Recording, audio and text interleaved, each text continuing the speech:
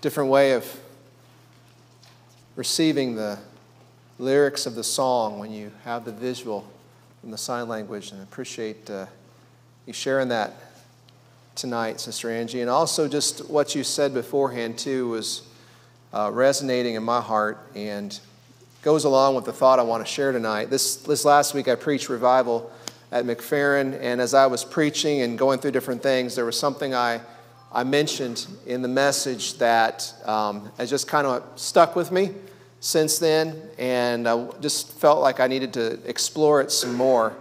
And it's the concept of, of revelation and worship. So um, I apologize a little bit, not very much, a little bit, to, the, to those who came out and heard uh, the message on Tuesday, because there's going to be a little bit of repeat, but I'm not really going to apologize because um, truth is truth.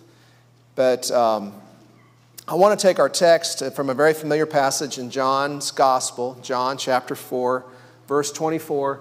And this passage says that God is a spirit. This is Jesus speaking to the woman at the well. God is a spirit, and they that worship him must worship him in spirit and in truth. And what I want us to think about tonight is what it, what it means to worship him in truth. What does it mean to worship the Lord in truth? We, we emphasize sometimes the worshiping in spirit, and that's an important thing, and both of these are just as important as the other, right? Um, and, and I believe worshiping in spirit means that it has to be real, it has to be sincere and from the heart. But something being sincere is not enough. It must be in spirit and it must be in truth. And I want us to think about just the, the mechanics of worship for a moment. Think about what worship is. And what, the way I want to convey this, the, the structure I've, as I've been trying to pull this together, I want to share some vignettes with you. Some vignette, vignettes are like little stories, little situations that we're going to look at, um, little pictures in Scripture, and kind of think about some things that are said and done and try to connect some concepts, and then we'll come at the end with some takeaways from this message and how it should impact what we do here at Huntingdon Missionary Baptist Church every time we get together to worship, every time we come together in service. And so, the first one I want us to look at tonight is to go to Mount Sinai together. So, let's go to Mount Sinai, and I want to just read a few verses in each of these vignettes here. The situation is Moses up on top of Mount Sinai.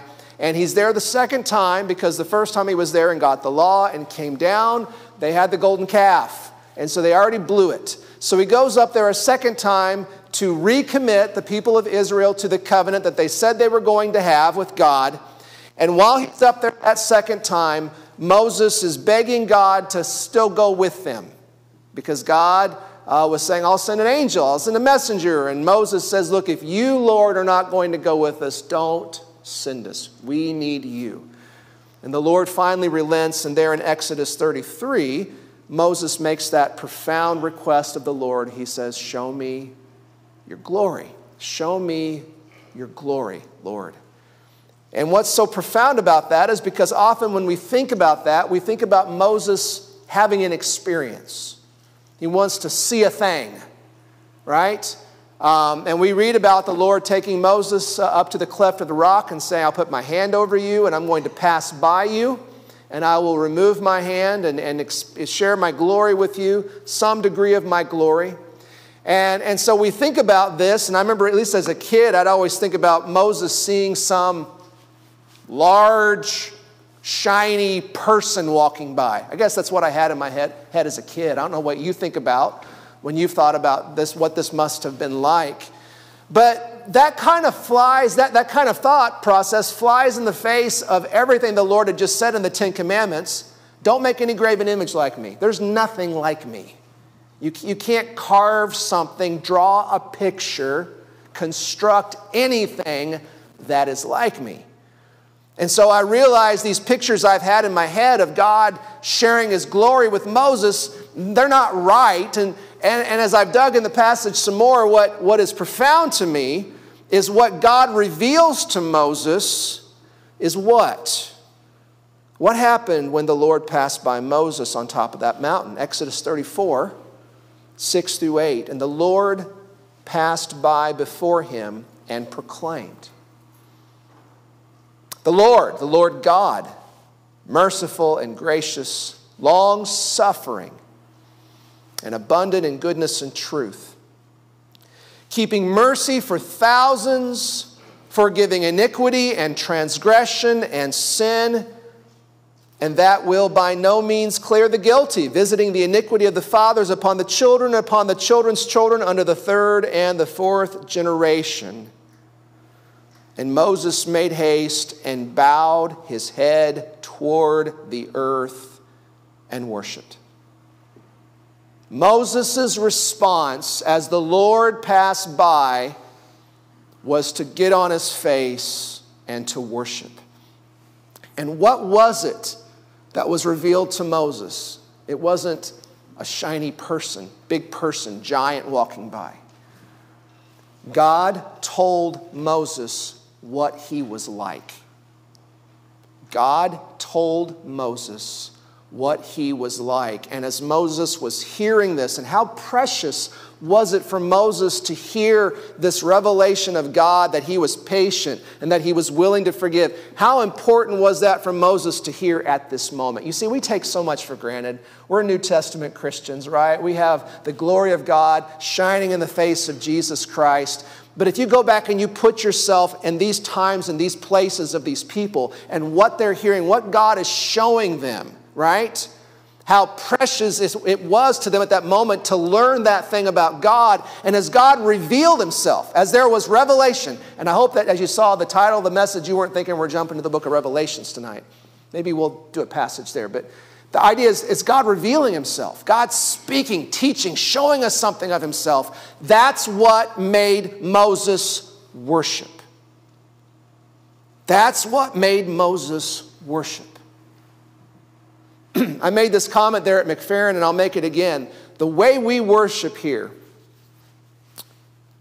I used a phrase, smells and bells. You know what I'm talking about? If I said smells and bells, I'm talking about this high liturgical worship where you have the incense and people with all the different sounds, and you have the big cathedrals and the stained glass and people thinking you have to go in some place like that to get this sense of awe and reverence with the, you know, the a cappella voices, oh, you know, in the background. I mean, that's how we get into a sense of worship. My friends, that is not the worship commanded in Scripture. Because the kind of worship that is commanded in Scripture is a worship based upon the revelation of God to us, God revealing Himself to us. God telling us something about Himself, and by God's Spirit, we're able to perceive that, understand that, hear that, learn that, and that promotes in us not just stacking a bunch of facts up in our head, but it puts us in a position of awe.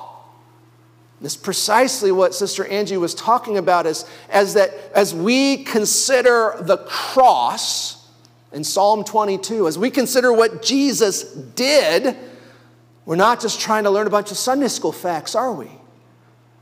Because what does that do in the heart of God's children? What should it do? It should cause us to want to worship Him.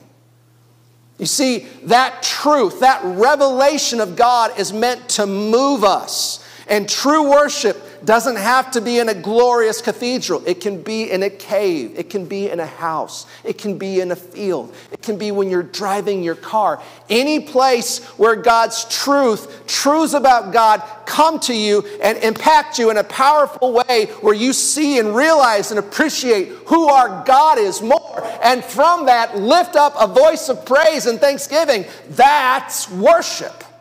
That's real worship. What else? Let's look at some more places. Let's go to Galilee. Let's go to a night when there was a great storm on the sea and the disciples were afraid and Jesus wasn't with them. Then they see this, what they think is a ghost walking by, and turns out it's Jesus, and he walks over to them on the water. Walking on water in the midst of a storm. Peter comes out at Jesus' uh, consent and starts to walk, sing. Jesus lifts him back up and says, Oh, you little faith, why did you doubt? And what the Bible tells us there in Matthew chapter 14, when they were come into the ship, the wind ceased. Then they that were in the ship came and worshiped him, saying, of a truth, Truly, you are the Son of God. What, what prompted the worship? It says they worshiped. What was it? There was something in front of them that they saw that demonstrated in a real, tangible way the power of Jesus Christ. That they, seeing him walk on water, calm the storm, lift Peter up, enable Peter to walk on the water, first of all, even if it was just for a few steps. Who cares if it was two or three steps? Peter walked on water. Amen. I mean, seriously. And seeing that happen, and then Jesus lift them up, and all those things get back in the boat. They're on their faces worshiping him. Because what? Because Jesus had revealed something of himself to them in that experience.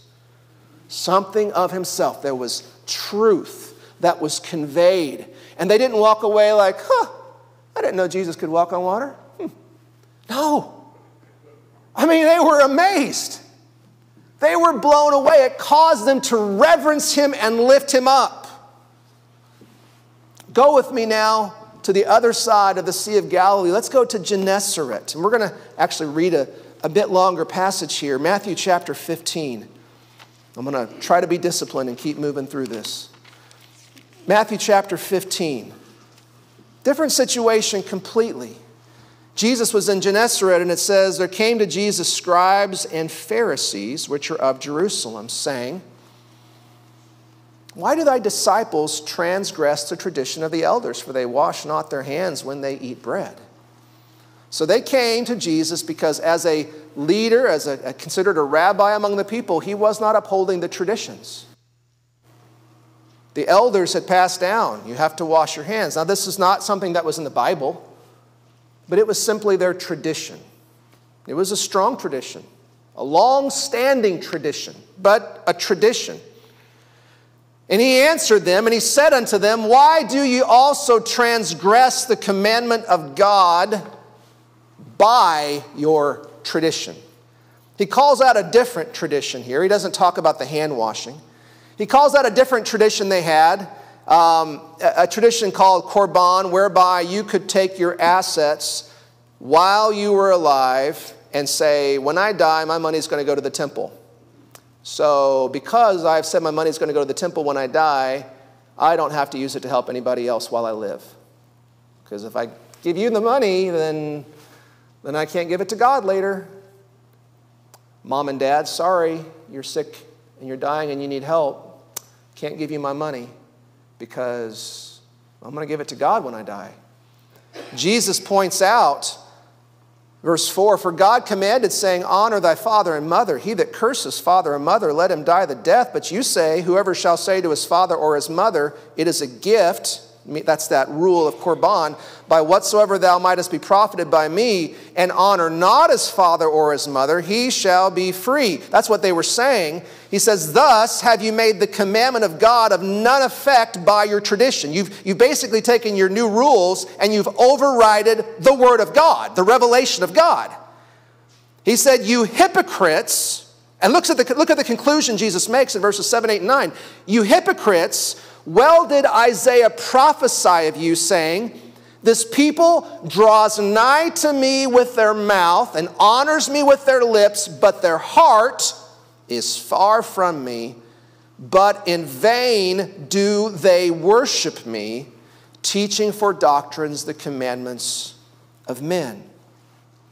Here's the crux of the matter Jesus said, When you exalt your tradition, over and above the Word of God, to the place where God's Word is displaced by your tradition, your worship is empty and it's meaningless. You can talk the talk all you want, but if the thing that you are exalting is your own tradition and it's not the Word of God, you see, true worship is based upon the revelation of God.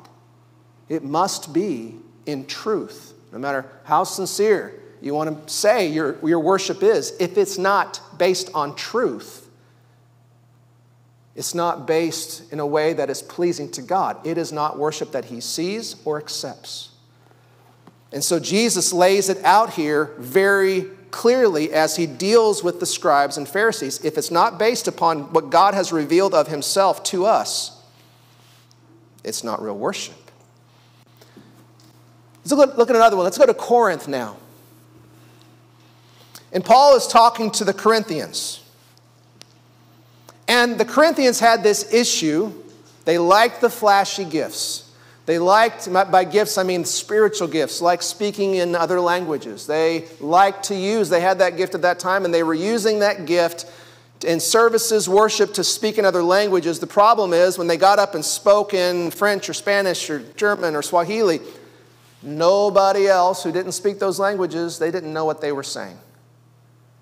And they're like, Well, I, am speaking thus by the Spirit because the Spirit has empowered me to speak this, so I'm speaking thus by the Spirit. But the problem is, nobody knew what they were saying. And the Apostle Paul was, was getting on this church about this practice, and he's saying, Look, when you all get together and you worship, people need to be able to understand what you say.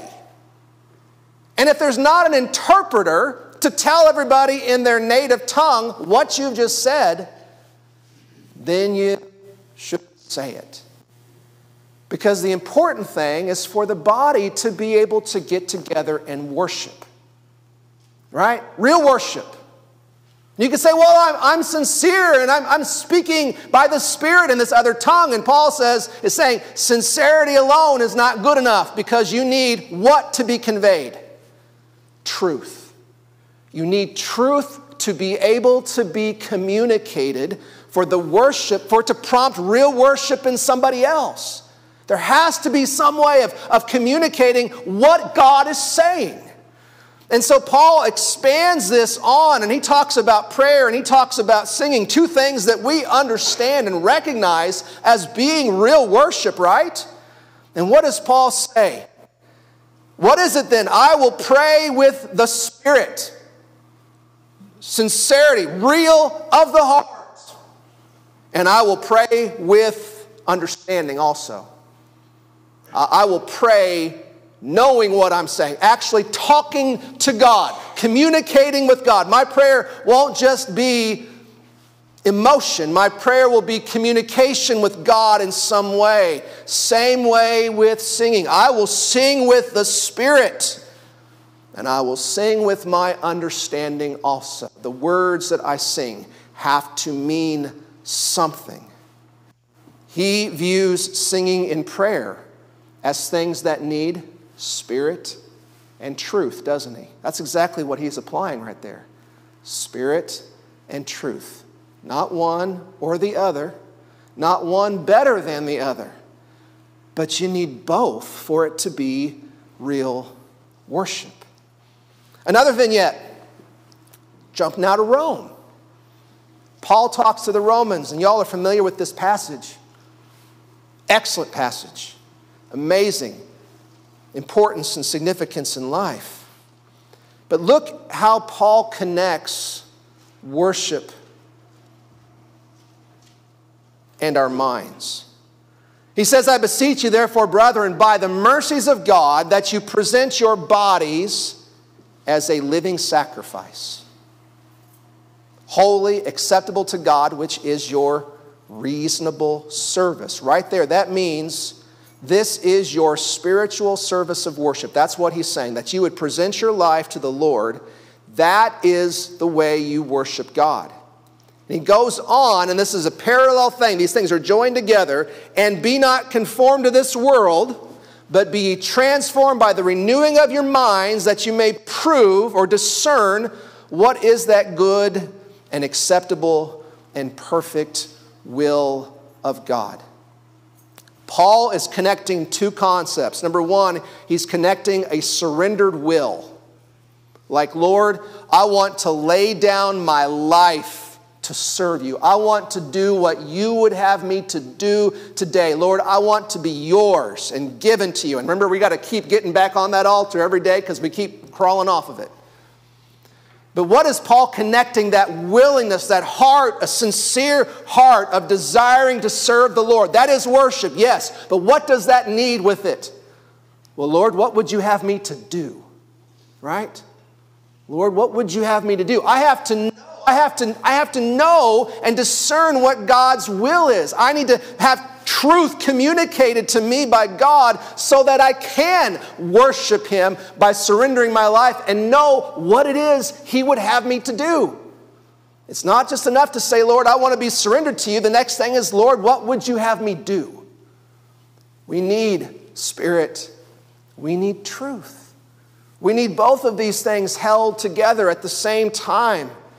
We'll finally finish here in Revelation looking at these vignettes. The last one is in Revelation 15. Seven angels with the seven last plagues in heaven. And it says they sing the song of Moses in Revelation 15, verses 3 and 4. They sing the song of Moses, the servant of God, and the song of the Lamb, saying, Great and marvelous, they're singing to God. Great and marvelous are thy works, Lord God Almighty. Just and true are thy ways, thou King of saints. Who shall not fear thee, O Lord, and glorify thy name? For thou only art holy. For all nations shall come and worship before thee, for thy judgments are made manifest. He, they, are, they're talking about how glorious the Lord is in all of his ways, and they finish this passage saying, The nations will come and worship. Why? As you reveal what you have done and you show what you've been up to and what your hands are accomplishing throughout this world, all your ways, as you reveal that, it's going to cause people to worship. What do you think is going to happen one day when we get there to heaven? And the Lord, you know, we talk about we'll understand it better by and by as the Lord begins to reveal that He knew what He was doing the whole time. Times we questioned, times we wondered, times we, you know, doubted, everything else, and the Lord reveals His great and glorious purposes. What do you think is going to happen to you? You're going to worship. And the Lord reveals His ways, and you realize his thoughts have been higher and holier, and he was doing way more than you ever knew. Folks, you're going to worship. It's just going to be one more reason you worship because that truth is being revealed to you. And what should happen in your hearts as God reveals? We just glorify him more and more and more as he shows us his ways. And so we've looked at several little vignettes, little pictures here in Scripture, and I want to just take away from this seven points, seven points for us to, to put into practice as we think about what do we do with these truths as we consider these. And there could be way more than this, but this is just a few things. Number one, takeaway preaching the word in our services must be preeminent as we gather together to worship. And this is not about elevating me, it's simply about elevating what God has set up to happen when we worship. Amen. And it is about holding the place of the pulpit as we gather. I think I told you the story of, of uh, Martyn Lloyd-Jones, a Welsh preacher who, when he came into a church and they had been very entertainment based, he came and he nailed the pulpit down you're no longer going to take this out because the centrality of when we gather together, it's not about the preacher, it's about sharing the truth of God's word, God speaking to us, because that is the basis of real worship. Now, I know sometimes we get together and, and our tendency is to be, you know, to downplay that. And, and I've heard it as many times. You know, like we had a good service today, there was no preaching. And, and I get that because there are days that you want those times of harvest, but a good service is not defined by a lack of preaching the word. It's like me saying, you know, I had a great dinner tonight. Mary didn't cook. oh, now you get it, right? That's not true. And you guys, you all know better than to say something like that, don't you? Right? But this is not about me or about my feelings. It's about the centrality of God's word. And even when, think about this, even when we're in a service where we hear people popping up and telling us they've been saved or sharing testimonies, right? What's happening? What's happening?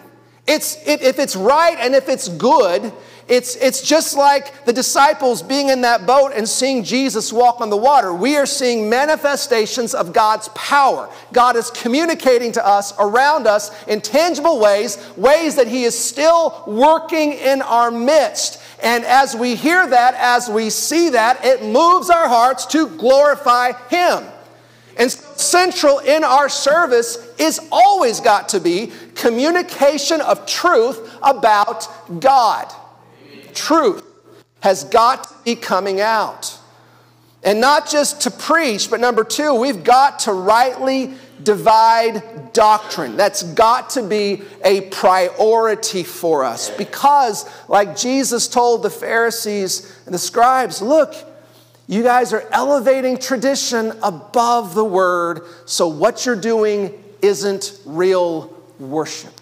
We need to continue to emphasize right doctrine because when doctrine is done right, when doctrine is done right, it moves our hearts to worship God. When it's done right, it should move us to glorify and honor and appreciate Him more.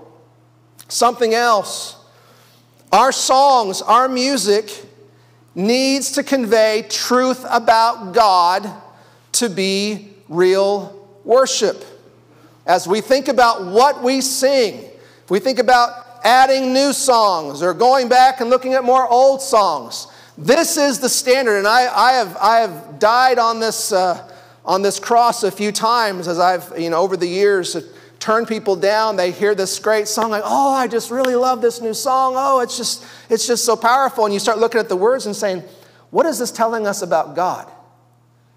What's it saying about him? What's it saying about us? Are these things really true? And oh, well, it's got a good melody. I mean, I, I, like, I, like, the, I like the chorus. Like, well, yeah, but you know, you typically don't just get up and sing the chorus. You sing the whole song, and it's not all true.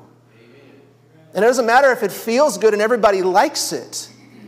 We need to train ourselves if our songs elevate tradition over truth, if they promote false views about God, if they inflame sinful passions, it's not real worship, even if everybody likes it.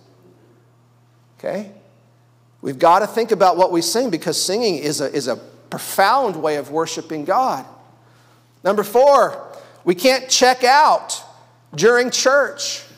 We've got to engage our minds. We've got to discipline ourselves. And I know it's way easier for me than for the rest of you because I got to get up here and talk, but y'all got to sit there and listen most of the time. Okay? But it's something that we all have to engage ourselves in during the singing, you know, and during the prayers that, that we're there, Amen. that we're present to the extent, I mean, and we're all human, right? But, but to, be, to the extent we can be, that we're present because true worship is not something you just kind of coast through. It requires you to hear and to receive and to think. And then, as that's coming in, God's Spirit working in your heart, so what comes out of you is praise and glory to God. Sometimes people want to go to church and just kind of sit there and just kind of hope something big happens, and then they'll pay attention and get engaged. But that's not the way it's supposed to be. We need to be engaged and active in this and not just drift through service or come in hoping, coming in hoping something big is going to happen. Number five, when testimonies are shared, testimonies can be profound ways of, of transmitting truth about God that can cause people to worship. But here's a key the, the key of a good testimony is that God is always the hero. Amen. The key of a good testimony is that it's about lifting him up and not about lifting me up. I can be the butt of the joke. That's okay. You know, I can be the foil. But he's always got to be the hero if it's going to be a God glorifying testimony because it's about magnifying him and sharing with other people what God has been doing in my life or around me, something I've seen. That's what produces real worship. Number six, we need truth to be clearly communicated. And it's not just from the pulpit, but it's when you stand and testify, when we pray, when we sing, we need to do it in a way that can be heard and understood, because if it's worth being said, it's worth being heard. Amen. Isn't it? Right?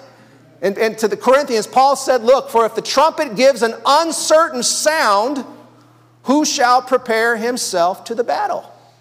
They used trumpets back then, you know, over these large distances where you had a large army to gather together. They would use a loud trumpet so people would know what to do and they could all do it together. So they had signals. One blast means this, two blasts means this, you know, a long one means this. But if the person playing the trumpet kind of, everyone's like, what was that? They don't all know what to do.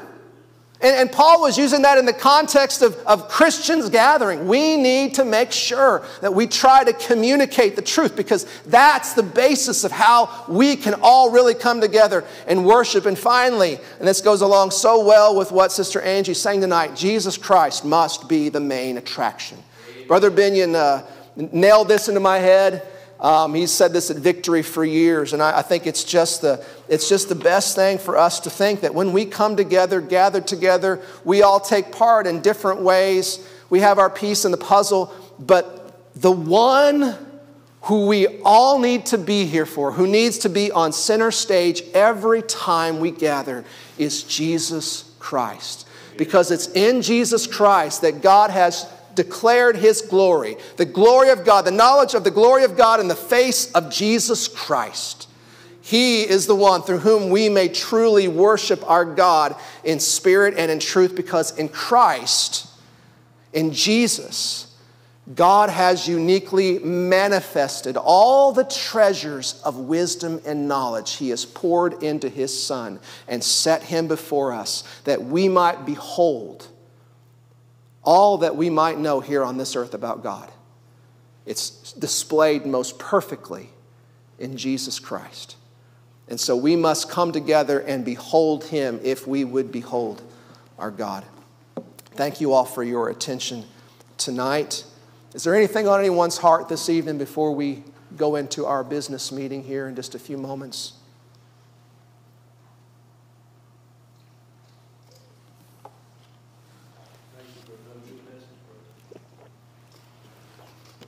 Bless you, brother. Let's all stand. We'll sing a verse of Amazing Grace. I would open the doors of the church, but as I scan the room, to my knowledge, everybody here is already a member of the church. So let's just stand and sing a verse of Amazing Grace. And if I'm wrong, and somebody's here and needs to unite with the church that isn't already a member, y'all have heard uh, how we do that testimony, experience of baptism, letter from a church of like faith and order. Two, three.